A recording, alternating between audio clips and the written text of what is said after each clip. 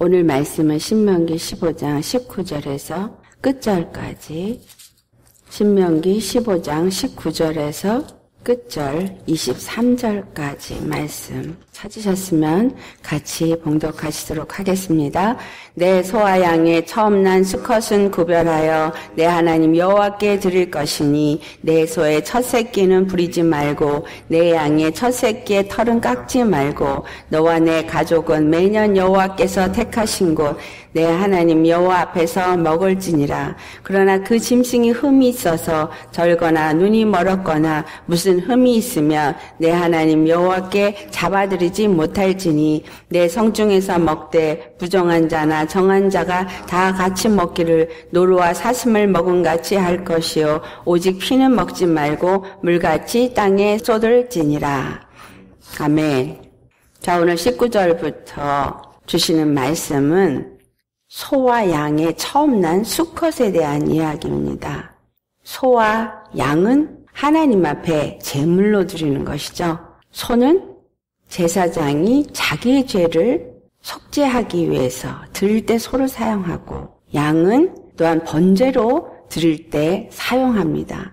이 소와 양은 둘 다 다 누구를 상징하고 있냐면 우리 주 예수 그리스도를 상징하는 것입니다. 그래서 소와 양의 첫 것은 부리지도 말고 또 그 양은 털도 깎지 말라고 말하는 것입니다. 그 이유는 바로 이 첫 것은 여호와의 것이기 때문입니다. 신명기 15장 앞에 부분에서 7년의 안식년에 대한 이야기를 나눈 것과 같은 의미를 또한 갖고 있다라는 것을 생각하면서 이 말씀을 살펴보아야 하겠습니다. 첫 것은 왜 여호와께 드리라고 하느냐? 왜냐하면 첫 것은 여호와의 것으로 정하셨기 때문이에요. 자, 이 첫 것에 대한 아, 이야기는 제가 여러 번 말씀을 드렸지만 다시 한번 우리가 정리를 하면서 생각을 해보겠습니다. 출애기 4장 22절에 분명히 이스라엘은 내 장자라 이렇게 말씀하셨어요. 그 이스라엘은 내 장자라 한 이야기가 무엇을 말하고 있느냐? 바로 이것은 오늘 이 소와 양의 첫 것을 여호와의 것이라고 한 것과 같은 이야기다라는 거예요. 이스라엘의 첫 것이라고 얘기하는 것은 많은 민족 중에서 이스라엘은 하나님 앞에 첫 것이 되어진다라는 거예요.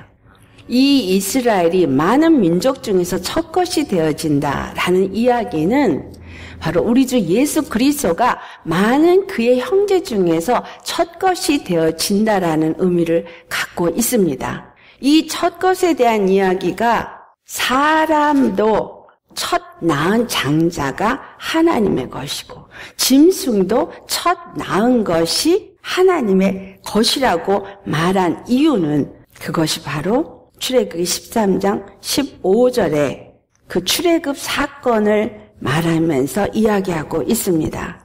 바로 그를 완악하게 하여서 이스라엘을 보내려고 하지 아니할 때 여호와께서 애굽 나라 가운데 처음 난 모든 것은 사람의 장자로부터 가축의 처음 난 것까지 다 죽이셨어요. 태에서 처음 난 모든 수컷들은 다 죽임으로 이것은 무엇을 말하겠냐면 여호와 하나님 앞에 제사로 드려졌다라는 거예요. 죽임을 당한 것은 제물로 죽여졌다라는 거예요. 애굽에 있는 모든 장자들 또 그 태어난 모든 가축의 첫 것들을 다 죽임을 당하면서 하나님 앞에 드려진 제물이 되어진 것을 말합니다. 단 이스라엘의 사람들에게만 하나님이 어린 양의 피를 발라서 1년 된 어린 양 수컷을 수컷입니다. 암컷이 아니에요. 수컷을 잡아서 문 임방과 문설주에 그 피를 바르고 피 바른 집 안에 있는 자에게는 이스라엘의 그 장자든 짐승이든 첫 것이 죽임을 당하지 않았어요. 이것은 대신 드려진 것이 있었기 때문이에요.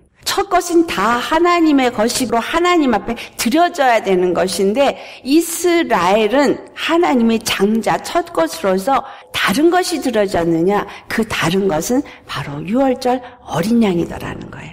그래서 그 어린 양이 수컷으로 드려진 건 이 수컷은 바로 우리 주 예수 그리스도 남자로 오신 아담을 상징하고 있습니다.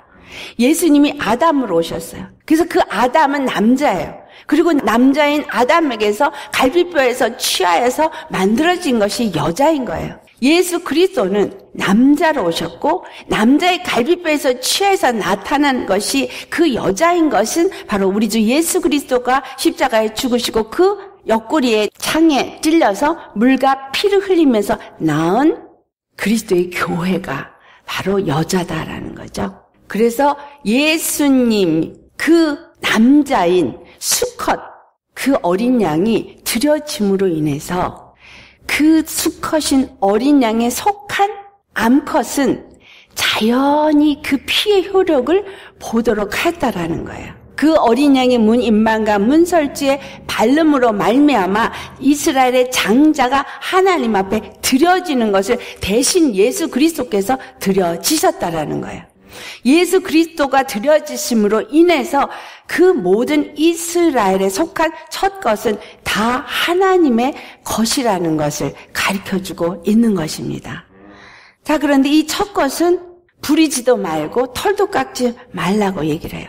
무슨 말씀을 하고 있는 거냐? 첫 것은 온전하게 하나님 앞에 드려져야 한다는 거예요. 우리 주 예수 그리스도께서 온전하게 십자가에서 자신을 들이심으로 말미암아 하나님 앞에 드려지셨죠. 그의 피는 온전한 피예요. 그의 피는 거룩한 피예요. 하나님의 뜻대로 자기 자신을 온전히 드려지셨는데 그 예수 그리스도를 세상에 그 누구도 부리지 못했습니다. 털 깎는 양같이 도살장에 끌려가는 것으로 이사에서 53장에 표현이 되어져 있지만 십자가에 털 깎는 양같이 끌려갔지만 예수님 그 어린 양의 털은 깎이지 않았어요. 그게 무슨 말이냐면 가죽이 벗겨지지 않았다 이 말이죠. 이 가죽이 벗겨지는 이것을 무엇으로 털이 깎아지는 것은 의의 옷을 말하고 있어요. 예수님이 그 속옷이 벗겨지셨고 벌거벗은 것 같이 십자가에 달렸지만 실상은 예수님의 의가 드러났죠. 십자가에 죽으시고 부활하시면서 의가 드러나셨지 의를 뺏기시지 않으셨다라는 거예요. 그리고 세상에 종살이로 부려지지 않았다라는 거예요. 마객에 의해서 예수 그리스도는 부려지거나 쓰임 받는 종살이를 하지 않았다라는 거예요. 이 땅에 마치 종과 같이 사람의 모양을 하고 왔지만 예수 그리스도는 마귀의 종이 아니었어요. 마귀의 종이 아니었던 것이 무엇을 말하냐면 그 40일 금식 기도를 하고 마귀에게 시험을 받았을 때 그 세 가지 시험을 다 통과하면서 천사가 나와서 그를 수종드는 이야기가 기록된 것이 바로 그 이야기입니다. 왜? 예수님은 바로 하나님의 나라가 내려온 것이기 때문에 하나님의 나라가 내려왔기 때문에 그 빛이 내려온 것이기 때문에 어둠이 그에게 찾아와서 그 어둠이 예수님을 부리려고 여러 가지 미혹을 하고 시험을 했지만 절대로 넘어지지 않았고 사단이 예수님을 부릴 수가 없었던 것을 말하고 있어요. 우리 주 예수 그리스도께서 첫 것으로 십자가에 들여지실 때 세상의 것에 의해서 부러지거나 털이 깎아지지 않을 수 있었던 건 그분은 바로 생명 그 자체였기 때문에 하느님의 나라 그 자체이기 때문이다라는 사실을 우리가 아셔야 합니다. 그 예수님이 바로 이 이스라엘을 위해서 하나님이 장자라고 선택된 그들을 위해서 첫 것으로 들여지셨어요. 이스라엘이 그래서 첫 것으로 드려졌습니다. 첫 것으로 드려졌다라는 얘기는 이스라엘이 모든 거에 샘플이 되어졌죠. 구약은 이스라엘이 어떻게 생겨지고 어떻게 고난을 당했고 애굽에서 고난을 당하고 광야를 어떻게 통과했고 정말 그 가나안 땅에 어떻게 들어갔고 그곳에서 어떤 일이 있었고 결국은 어떻게 무너졌고 하나님이 그들을 어떻게 다시 회복시키셨고 이 모든 것들이 그들이 첫 것으로 다 경험을 한 것이에요. 그 모든 것은 무엇을 위해서 드려진 거냐 하면 하나님의 많은 형제들을 위해서 드려진 것이다. 라는 거예요. 그 말씀이 로마서 8장 29절에 우리 주 예수 그리스도께서 아들로 첫 것으로 하나님의 배 드려진 것을 많은 형제들을 위한 것이다 라고 말하는 거예요. 아, 그러니 이 첫 것으로 드려지는 것의 의미는 이스라엘도 첫 것으로 드려지고 어린 양이 첫 것으로 드려지고 또 예수 그리스도가 첫 것으로 드려진 이 모든 것들은 바로 열방을 구원하는 하나님의 계획 때문이구나라는 것을 우리가 아셔야 합니다. 무엇 때문? 열방. 온니 not 이스라엘. 이스라엘, 육적인 이스라엘 백성들의 구원을 위하신 하나님이 아니라 모든 민족을 구원하시는 하나님의 뜻이 모든 민족을 구원하기 위해서 첫 것을 드려지는 것을 보여주신 것이 바로 이스라엘을 장자라 말하시고 또 이스라엘의 구원을 위해서 어린 양이 드려지는 것을 말한 것이고 하나님께 속한 자는 첫 그 양이 드려짐으로써 사망에서 건짐을 받은 것처럼 우리 주 예수 그리스도께서 십자가에 드려지심으로 구원을 받게 되는 것을 가르쳐 주고 있고 그 예수님께 속하지 않은 그 어린 양의 피에 함께하지 아니한 나머지들은 다 하나님 앞에 드려지게 된다라는 거. 죄의 값으로 드려지게 된다라는 걸 말한 것이에요. 무슨 말이냐? 첫 것은 바로 그 기업을 물려받는 상속자를 의미해요. 그 기업이 계속 계속 존재하도록 하는 통로가 이 첫 것으로부터 말미암는다는 것입니다. 그런데 애굽의 첫 것이 다 죽어진 것은 완전히 그 기업을 물려받을 것들이 다 끝나버렸다 이 말이에요. 예수 그리스도 안에서 그 어린 양의 피를 갖지 않은 자들은 자기 몫의 죄의 값을 지불해야 되는 거예요. 다시 말하면 첫 것인 아담이 범죄한 그 죄에 속한 자가 되어져서 죄의 값인 사망의 값을 지불할 수밖에 없는 심판에 놓여 있다라는 것을 말하고 있고 다른 하나는 그 어린 양의 피를 바른 문 안에 들어가서 애굽에서부터 그들이 출애굽을 하고 건짐을 받은 것은 바로 우리 주 예수 그리스도 안에서 그 피의 공로를 힘입어서 너희가 구원을 받고 심판에 이르지 아니하게 되어진다라는 하나님의 계획을 나타내 주신 것이에요. 그래서 이것을 얘기할 때도 오늘 이 신명기 15장에도 그 앞부분에 너는 애굽 땅에서 종 되었던 것과 내 하나님 여호와께서 너를 속량하셨음을 기억하라. 이것이 바로 이 첫 것을 여호와께 드리라고 말한 것입니다. 첫 것은 여호와의 것이라고 하나님이 정하셨어요. 무엇을 말하는 거예요? 하나님의 속한 것을 말하는 거예요. 우리가 오늘 이 첫 것을 하나님 앞에 드리고 그 첫 것은 어떤 재물로 가져갈 수가 없어요. 이 첫 것은 여호와 것이기 때문에 그냥 갖다 드려야 돼요. 그 이유가 바로 여호와께 속한 여호와의 것이기 때문에 그건 아주 날 때부터 여호와의 것이기 때문에 그것은 여호와께 드려야 된다라는 거예요. 그 이야기가 첫 이삭, 첫 재물 이런 11조로도 말하고 있는 것이죠. 같은 의미를 말하고 있습니다. 여호와의 것이기 때문에 그렇다면 아 우리 주 예수 그리스도가 바로 하나님의 것이라고 말한 고린도전서 3장 23절의 말씀을 우리가 이해할 수 있겠죠.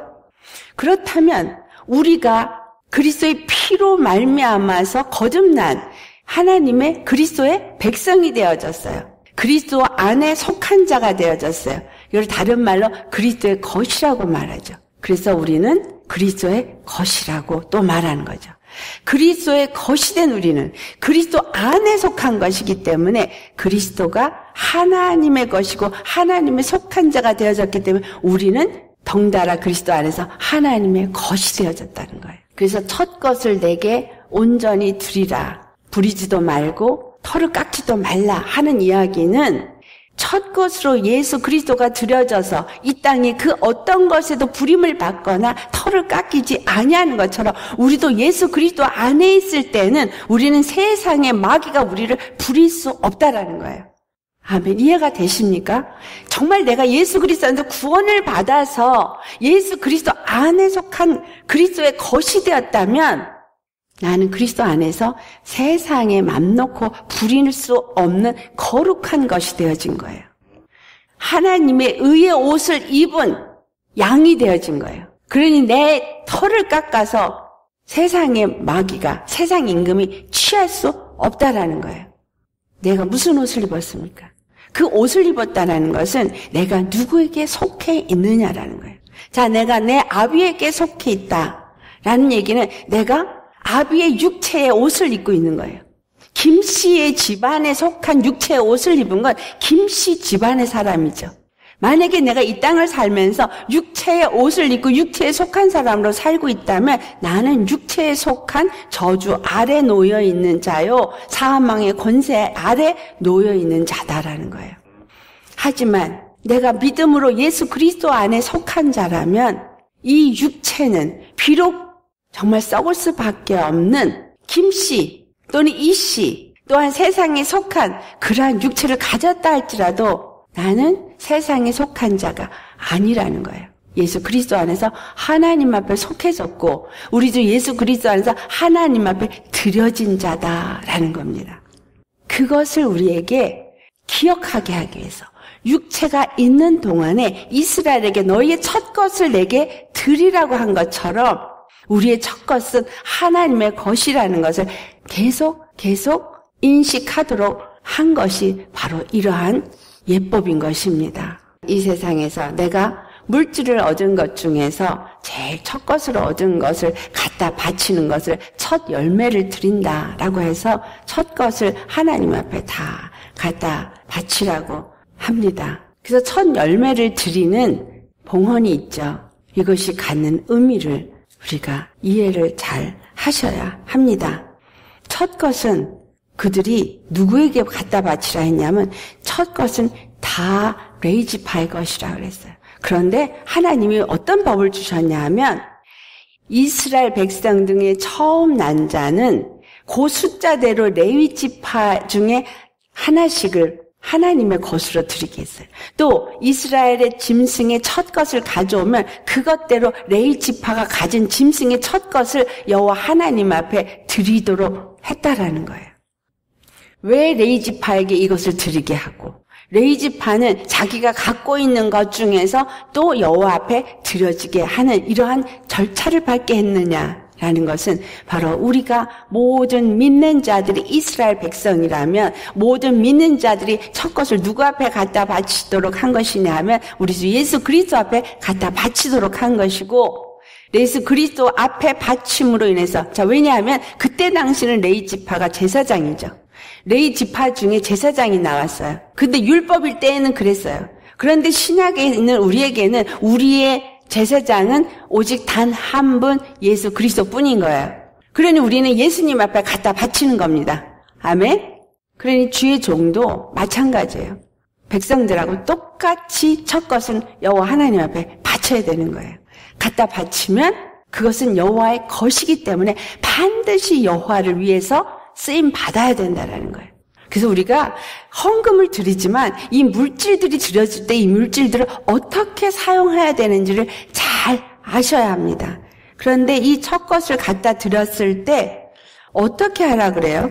하나님이 지정하신 곳에서 너희가 이것을 먹으라고 말해요. 여호와께서 택하신 곳에서 너와 내 가족이 그것을 같이 먹으라고 합니다.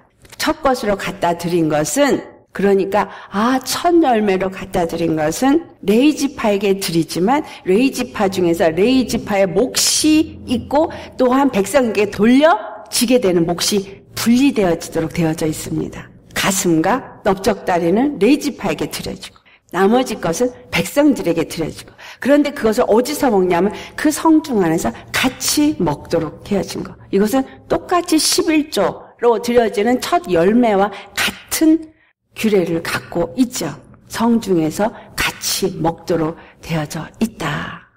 하지만 흠이 있거나 절거나 눈이 멀거나 무슨 흠이 있는 것은 여호와께 드려지지 못한다. 왜냐하면 여호와 하나님의 것이 될 수 있는 건 무흠해야 된다는 거예요. 흠이 없어야 된다는 거예요. 예수 그리스도께서 험이 없는 분이기 때문에 그분은 죄가 없는 분이기 때문에 거룩한 분이기 때문에 하나님 앞에 드려질 수 있었습니다. 그와 같이 우리도 하나님 앞에 산 제물로 드려지려면 무흠해야 돼요. 그러니까 내가 어떤 험이 있는 부정한 것이 있다면 절대 하나님 앞에 드려질 수 없어요. 하나님 앞에 험이 없는 제물이 되어주려면 예수 그리스도 안에 속한 그 십자가의 피를 덧입은 자로 드려져야 한다라는 거예요. 우리의 심령도 우리가 드리는 헌물도 헌금도 우리의 삶으로 하나님 앞에 드려지는 모든 것들이 다 그리스도의 십자가의 보배로운 피로 거룩함을 입었을 때 우리가 하나님 앞에 드려질 수 있는 것이지 그 피로 거룩함을 입지 않은 그 어떤 것은 하나님 앞에 드려질 수 없다라는 거예요. 험이 있기 때문에. 내가 거룩해지지 않은 심령이라면 아무리 예배를 드려도 하나님은 그 예배를 받지 않는다는 얘기죠. 또 다른 말로 얘기해서 내가 만약에 하나님 앞에 어떠한 물질을 드린다 할지라도 그 물질이 예수 그리스도의 그 십자가의 피로 뿌려진 정말 믿음 안에서 드려진 사랑의 물질이 아니라면 하나님 앞에 드려지지 않는다라는 거예요. 사랑이 없는 인색함으로나 아까움으로 드려진 것 하나님이 받지 않으신다라는 이야기입니다. 주님이 정말 우리에게 주시고자 하는 것은 바로 이 첫 것을 드려라. 이것을 부리지도 말아라. 털을 깎지도 말아라. 부정한 것은 드릴 수 없느니라. 이런 율례는 무엇을 말하고 있냐면 하나님 우리를 부르실 때 부정하게 하심이 아니고 거룩하게 하심이다라는 것을 말하고 싶으신 거예요. 대살리가 전서 4장 7절에 나오는 말이에요. 우리를 부정하게 하시는 것이 아니라 우리를 거룩하게 하시기 위해서 부르셨다는 거예요. 우리를 거룩하게 하시고 부르신 것은 예수 그리스도의 십자가예요. 그 십자가의 피로 우리를 거룩하게 하시고 죄가 없다 하시고 의롭다 하시고 그래서 부정하지 않게 하신 후에 우리를 받으셔서 그의 백성, 그의 거룩한 백성, 그의 거룩한 나라, 하나님께 속한 자가 되어지게 하시고 그 하나님만이 가지신 거룩함을 우리도 누리게 하시는 것이 하나님의 뜻이다라는 거예요. 우리가 이러한 규례들을 가지고 어떤 정말 첫 열매를 하나님 앞에 드렸느냐 말았느냐 그런 이야기를 하는 것이 아니라 정말 우리 주 예수 그리스도께서 거룩한 첫 것으로서 하나님의 드려졌고 그것을 내가 소유하고 나도 그리스도의 것으로 드려진 자라는 것이 믿음이 되어진 자라면 그와 같은 것을 늘 기억하기 위해서 하나님 앞에 첫 것을 드리는 그러한 일을 한다라는 것이죠. 히브리서 2장 11절 말씀. 거룩하게 하시니와 거룩하게 함을 입은 자들이 한 근원에서 난지라. 그러므로 형제라 부르시기를 부끄러워하지 아니하셨다라는 말씀을 합니다. 거룩하게 하는 자와 거룩하게 함을 입은 자. 자, 거룩하게 하는 자는 누구예요? 우리 주 예수 그리스도의 십자가 피가 우리를 거룩하게 하는 거예요. 또 거룩하게 함을 입은 자는 우리죠. 그 피로 거룩함을 입은 자예요. 근데 이 모든 것이 한 근원에서 나왔대요. 한 근원이 누구예요? 바로 하나님. 첫 번째 아담도 하나님으로부터 지음을 받았고 두 번째 아담도 하나님으로부터 이 땅에 오셨어요. 한 근원에서 나왔어요. 하나님 안에서 나온 거예요. 거룩하신 하나님 앞에서 나온 거예요. 원래는 거룩했어요. 그래서 그 거룩함을 입은 것이 부정하게 되었기 때문에 다시 거룩함을 입게 하기 위해서 우리 주 예수 그리스도께서 십자가에 죽으시고 부활함으로써 첫 것으로 드려지고 그 피로 우리가 거룩함을 입게 함으로 맏아들로 드려졌기 때문에 우리가 한 형제라 부르심을 받을 수 있게 하여 주셨다라는 것을 말하는 것입니다. 아멘. 아, 이것은 바로 거룩하게 구별된 것을 말씀하고 있는 거구나. 하나님이 거룩하시고 우리 주 예수 그리스도가 거룩하고 우리는 예수 그리스도 안에서 거룩함을 입은 자라는 것을 말씀하고 있구나. 따라서 세상의 마귀가 부리는 자는 되어서는 안 되는 거예요. 세상의 마귀가 우리의 옷을 벗기는 일은 일어나면 안 되는 거라는 거예요. 왜냐하면 우리는 하나님의 것이기 때문에 예수 그리스도 안에서 여러분은 하나님의 것입니다. 거룩한 것입니다. 그래서 우리는 우리 자신을 거룩하게 보존하셔야 해요. 하나님의 것이기 때문에. 하나님의 것이기 때문에 하나님의 것으로 쓰임을 받아야 되고 하나님의 거룩함을 나타내야 되고 늘 거룩한 하나님의 성전이 되어야 하는 것입니다. 마귀가 틈탈 수 없도록 그 천국이 내 안에 임하고 그 거룩함이 내 안에 임하고 하나님의 영으로 내가 인도함을 받고 그 거룩한 말씀의 생명 안에서 내가 살기 위해서 디모데전서 4장 5절의 말씀처럼 말씀과 기도로 거룩해지는 삶을 살아야 하는 것입니다. 여러분은 완전히 하나님의 말씀의 생각과 마음이 지배되셔야 합니다.